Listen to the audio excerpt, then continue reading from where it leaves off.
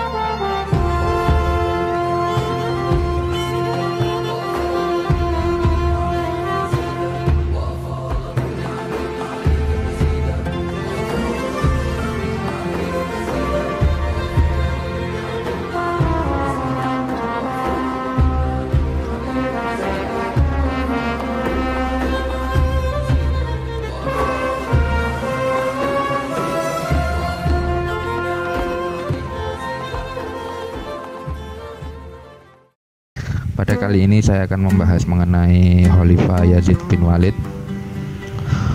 Khalifah Yazid bin Walid ini berkuasa antara tahun 126 Hijriah sampai 127 Hijriah. Dan beliau berkuasa kurang lebih selama enam bulan.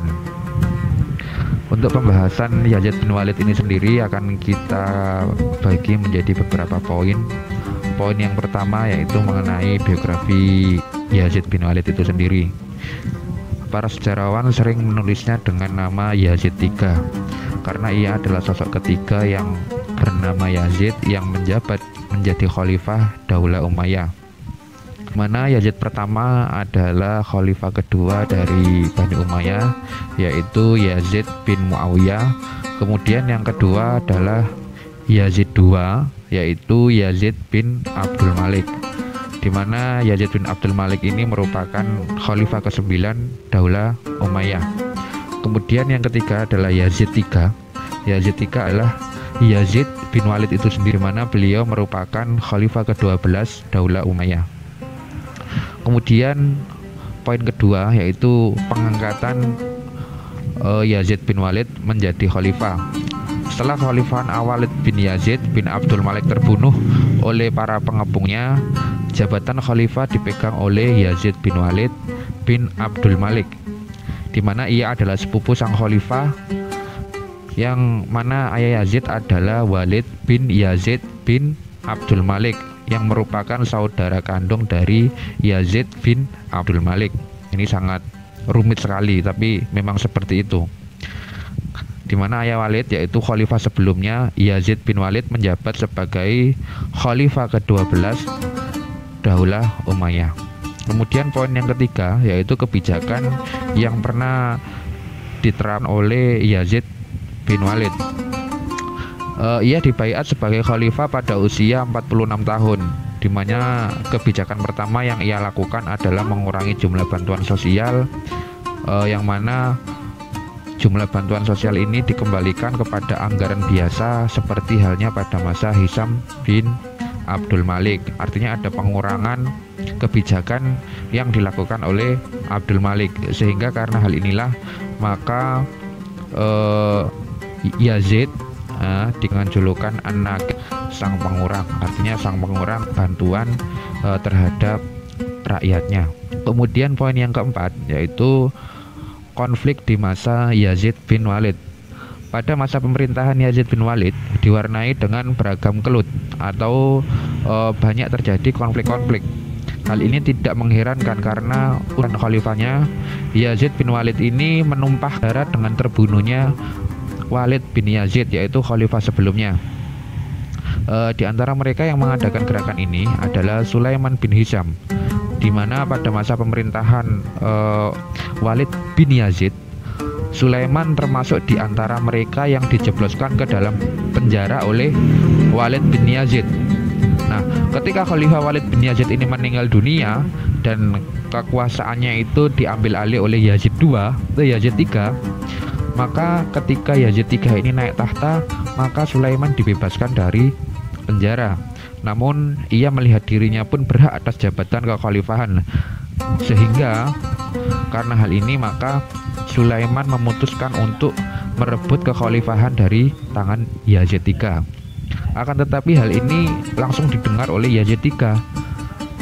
Sehingga Khalifah Yazid III uh, membujuk Sulaiman untuk kembali melakukan uh, baiat kepada Yazid III sehingga ketika itu Sulaiman diberikan iming-iming dan dibujuk oleh Yazid sehingga uh, Sulaiman mau berbaikat kembali terhadap kepemimpinan Yazid bin Walid.